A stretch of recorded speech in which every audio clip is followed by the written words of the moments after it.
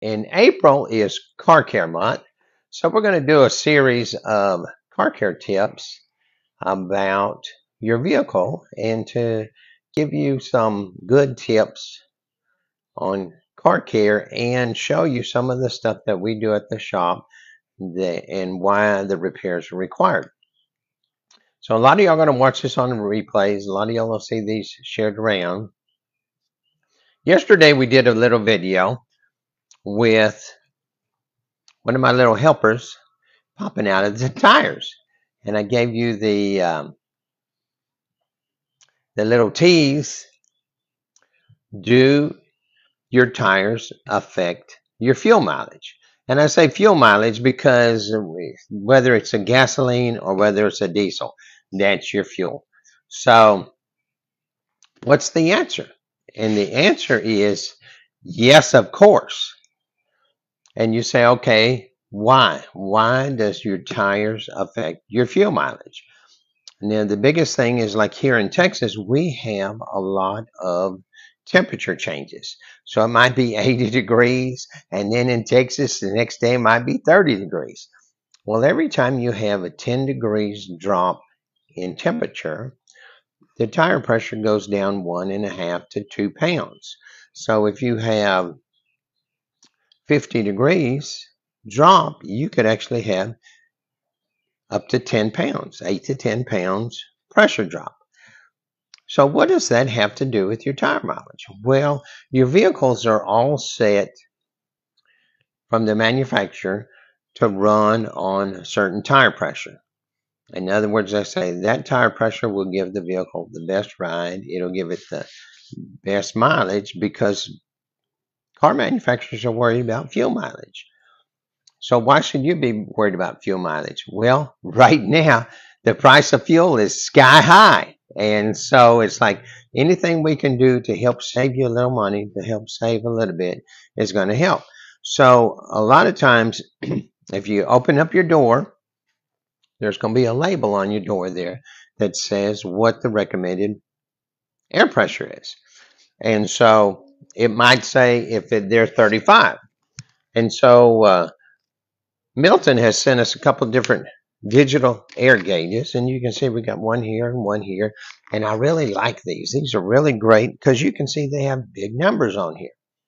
So if you look on your dash it's going to tell you on most vehicles now it'll tell you what your tire pressure is and then you can say okay um, and open up your door and you look at the label there and it says it's supposed to be 35. Some of them will say 32, some of them will say 30. Some of them will actually have different on the front and the back. It might say 32 on the front, 30 on the back. So you have to look and see what it should be. There is a rating on the side of the tire that says what the maximum pressure on this. We don't always go by that because this size tire will fit many different vehicles. So we want to look on your vehicle and see what your pressure should be. And of course, now we're talking about the rolling resistance. That's why we want to take care of the air pressure. So like I said, on these that we use from Milton have the big numbers and it's real easy to see. So we hook it on there and we shoot it up to the right pressure. We make sure and we go around and check them all because you can have one that has a little bit different pressure. If you look on your dash, they should all be pretty close to the same. The reason we like the digital ones is because it's easier to get this pressure if we want 35 to put it at 35 and then it comes up 35 on your dash. A lot of times the old pencil type, you kind of look at them and the numbers and the lines and stuff, you kind of get them a little different there. So we always like to use the digital air gauge whenever we're doing it here at the shop.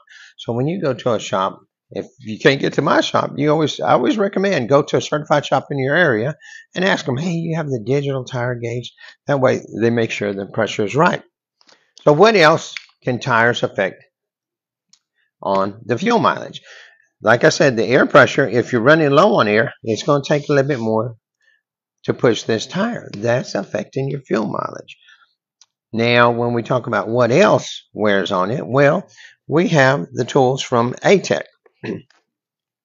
And as you can see on this particular one, I also have the tire tread depth.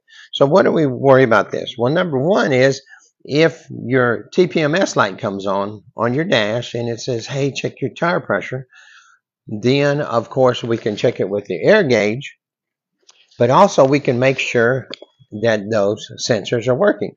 And that's what we use this for. We can use it to check them. We can use them to service them. What does service mean? It means if the gauge, if the if the sensor is worn out, we need to replace it. We can service it. But also, when you rotate your tires, you have to tell the computer on your car, we're moving this tire to the back. We're moving that back tire to the front. Otherwise, the dash will show your left front tire is low. And really, it might be the tire that's on the back. So we can go in with this and tell the computer where these tires are so that when you're putting air in the tire, you're putting air in the right tire. A lot of times people don't realize that, that when they get their tires rotated, unless they go in and tell them where the tires are, the computer still thinks it's up on the front. And so you're putting air in the wrong tire. The other thing that this does is with this uh, tire tread depth, we can go on here and every time we service your vehicle, we'll go in here and we'll register and read the tire tread. Now, when we do this on this particular tool, we're reading on the outside, in the middle, and on the inside. And what is that for? Well, now we're looking at the tread wear across the vehicle. I can eyeball these. I can look at these, and if they're real bad, we can say, oh my gosh, this is worn down on the inside. This is worn down on the outside. What that affects is your alignment. So if your alignment is off, then it's kind of like having crooked tires. So your your engine is trying to push crooked tires down the road.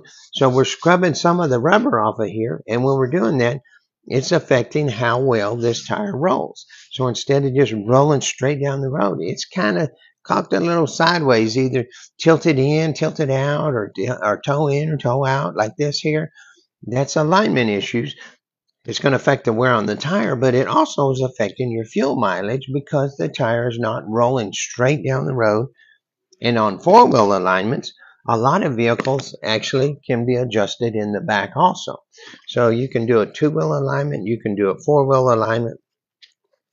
And like I said, by using this tool from ATEQ, we're able to read across there and visually check the wear on it, which will give us an idea on the alignment. Now, this tool doesn't do alignments, and we don't have alignment right here, but that's just some of the things that are going on with your tire.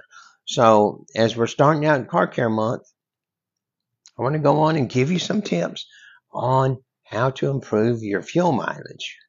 First thing, check your air pressure.